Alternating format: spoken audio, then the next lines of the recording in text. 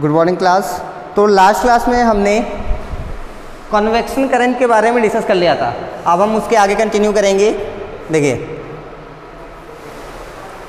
हमारे पास है some applications of convection currents यानी कन्वेक्शन करेंट्स के कहाँ कहाँ पे यूज़ हो सकते हैं। First one is on heating convection currents are set in liquids and gases जब हम हीट करते हैं तो हमारे लिक्विड्स और गैस में कन्वेक्शन करंट फ्लो करने लगता है। The convection currents in liquids and gases play an important role in nature and in our daily life ये बहुत सारे इंपॉर्टेंट रोल प्ले करता है। यानी कि इसके एक नहीं, एक से ज़्यादा यूजेस हैं। Some applications of convection currents are described below कुछ हमें नीचे दिए गए हैं। पहला वेंटिलेशन इन रूम ये क्या होता है? वार्म एयर बीइंग लाइटर हमें मालूम है ना? गर्म हवा। यानी गर्म कोई भी चीज़ क्या होती है? हल्की होती है। वो कहाँ चली जाती है? ऊपर।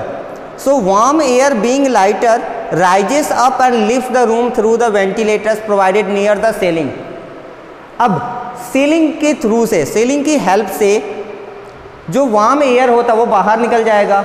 और वहाँ पे कौन आता है? ठंडी हवा। जिसकी वजह से हमारे रूम का टेम्परेचर बना रहेगा और हमें ज़्यादा गर्मी फील नहीं होती है। बात समझ में आ रही है? तो इसके बहुत सारे यूज़ हैं। तो आपको क्या लिखना है नोटबुक में? वो ये देखिए यहाँ से आप लिखना शुरू करेंगे। Some applications of convection currents are यहाँ तक। उसके बाद फ़र्स्ट पॉइंट लिखेंगे वेंटिलेशन इन रूम और इसको कहाँ तक कंप्लीट करेंगे? यहाँ तक। समझ में आ गया? चलिए आगे देखिए।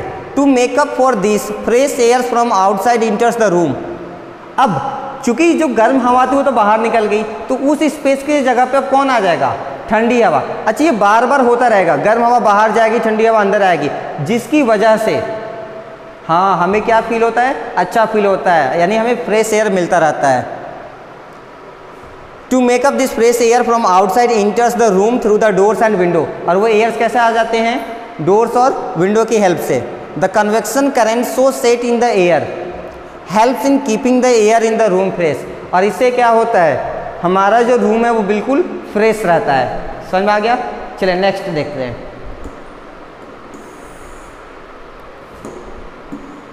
लैंड एंड सी ब्रिज ये हमारा सेकेंड पॉइंट आप लिखेंगे। इसमें आप यहाँ तक मेंशन कर लीजिएगा।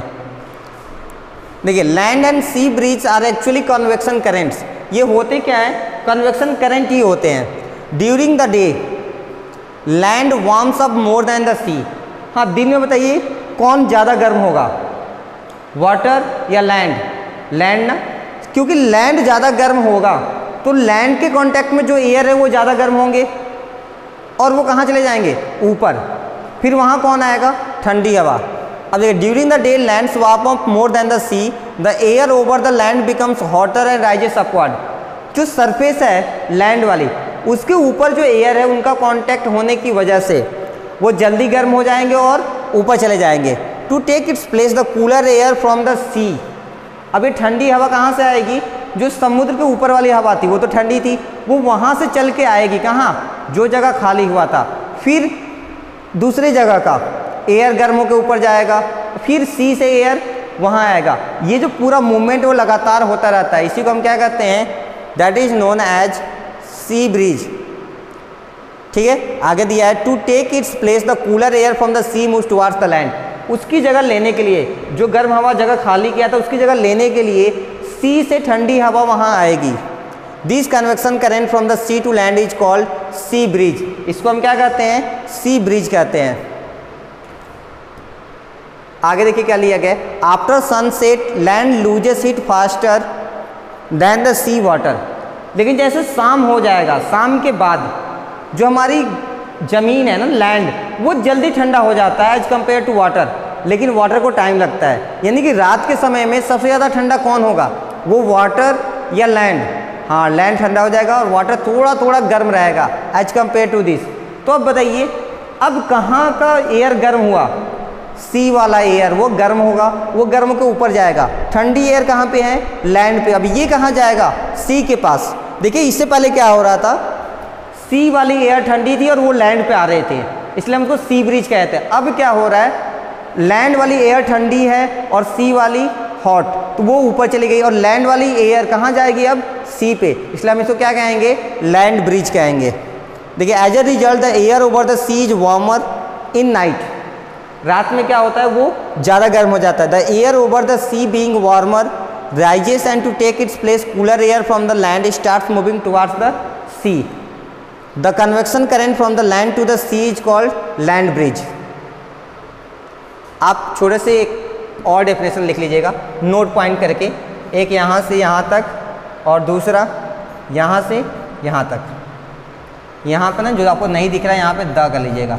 आपके बुक में दिश लिखा होगा, आप उसको भी नहीं, वहाँ काटिएगा नहीं, जो आप डेफिनेशन लिखिएगा, वहाँ पर दी लिख लीजिएगा। समझ में आ गया? चलिए आगे देखते हैं। Next one is ocean currents. ये देखिए सी ब्रिज।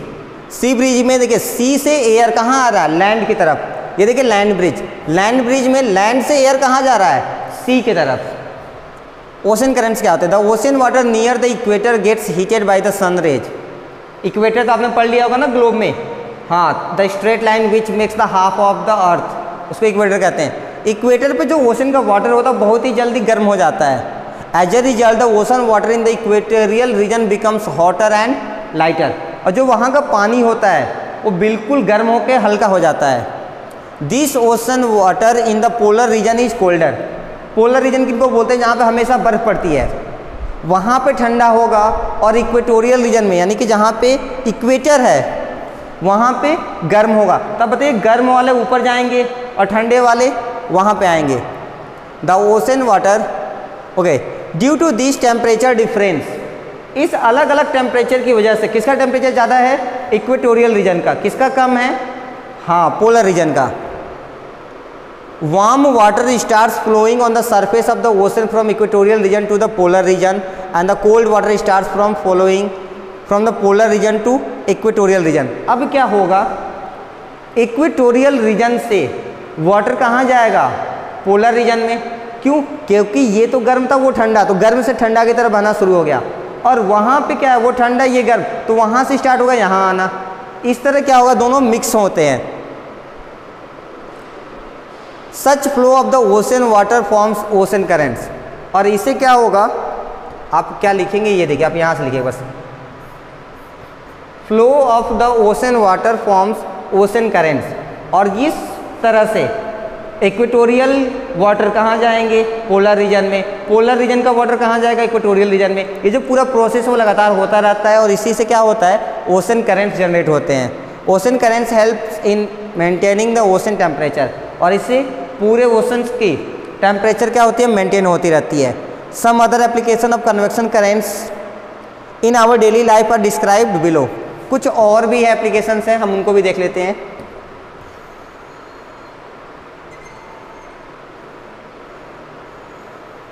देखिए, पहला why air conditioners are fitted at higher level on the wall of the room आपने देखा एसी वगैरह हमेशा उधर टॉप वाली दीवार में लगाई जाती है, नीचे नहीं। ऐसा क्यों होता है? देखिए cold air is heavier than warm air हाँ कोल्ड एयर तो भारी हो गया नहीं वो नीचे है। वार्म एयर कहाँ है? ऊपर। वो एसी करता क्या है? जो गर्म हवा ऊपर है, उसको ठंडा करता है। बात समझ में आ रही है? ठीक है। The cold air from the cooler और air conditioner being heavier moves downward और जो ठंडा हवा होगा एसी से निकलने वाला, वो कहाँ जाएगा? नीचे। Whereas the hot air at the lower level moves upward and gets cooled and come down once again अब क्या होगा? जो उससे ठंडी हवा निकली, किससे? एसी से। वो तो नीचे आएगी और नीचे वाली गर्म हवा ऊपर जाएगी। फिर वो उस गर्म हवा को एसी ठंडा करेगा, फिर नीचे भेजेगा। यानी ये बार बार रिपीट होता रहता है और इसलिए हमारा रूम क्या रहता बिल्कुल ठंडा रहता है। सेकेंड देखिए। Why are room heaters placed at और near the floor of the room अब हम जो हीटर होता है ना रूम हीटर उसको हम नीचे क्यों रखते हैं? Air heated by the room heater goes up and the cooler air from the higher level comes down ठंडी के दिनों में, ठीक है, ऊपर वार्म एयर होगा और नीचे कोल्ड एयर तो नीचे ठंडी लगेगी ना ज़्यादा तो हमें जो कोल्ड एयर उसको हीट करने की ज़रूरत है। तो इसलिए हम क्या करेंगे रूम हीटर को नीचे रखते हैं। Next one is why is the freezer mostly located at the top in the refrigerator हाँ सबसे इंपॉर्टेंट चीज़, जो रेफ्रिजरेटर में एक फ्रीजर होता है, यानी ऊपर वाला सेक्शन जिसमें बर्फ़ जमाते हैं, वो हमेशा ऊपर क्यों होता है the air inside and around the freezer compartment gets cool and moves downward and the lesser cool air moves up to get cooled. This convection current are set in the air and the lower section of the refrigerator also gets cooled faster. अब इससे क्या होगा ऊपर वाला section ज़्यादा ठंडा होगा अगर वो ज़्यादा ठंडा करेगा तो ठंडा वाला एयर नीचे जाएगा। उस नीचे एयर जाने से नीचे वाली एयर भी क्या होंगी?